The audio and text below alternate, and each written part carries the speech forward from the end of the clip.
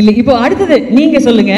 இந்த என்டையர் குழுவினர்லயே வருத்தப்படாத வாலிபர் சங்கம். என்ன நடந்தாலும் நம்ம பாத்துக்கலாம்யா அப்படின்னு வருத்தமே படாத ஒரு ஆள்னா இந்த டீம்ல யார்? ஜெய் தான் ஜெய் ஜெய் ஜெய். தான் ஜெய் ஜெய் ஜெய். ஜெய். ஜெய் ஜெய்.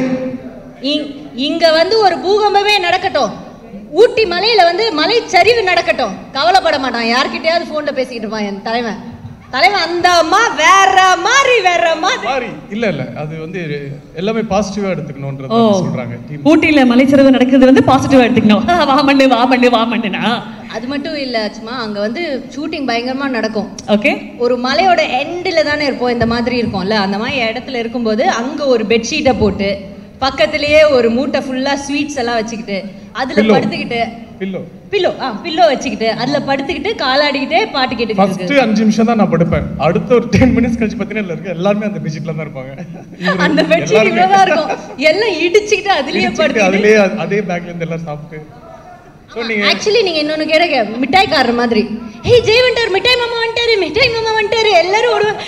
வாங்கடி போய் எல்லாம் நம்ம மிட்டாய் சாப்பிடலாம்? அதுக்குள்ள ஏகப்பட்ட ஆமாவா இல்லையா? கேர்ள்ஸ் போவாங்க நல்ல வேலை மிட்டாய் மாமா ஜிலேபி மாமா நல்ல வேலை.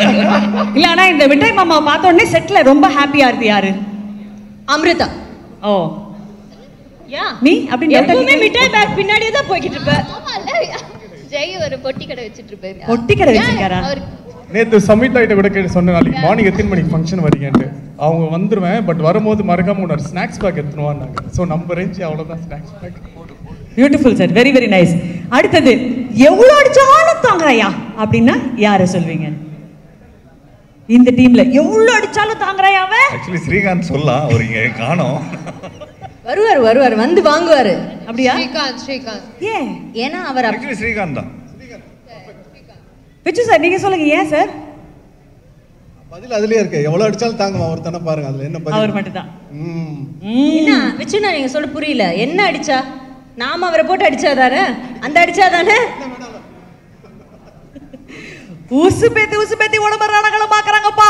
அப்படின்னு யாரு ரொம்ப கம்ப்ளைண்ட் பண்ணுது சார். எல்லாமே டேமேஜ் ஆயிடுச்சு சார். இவர்தான்.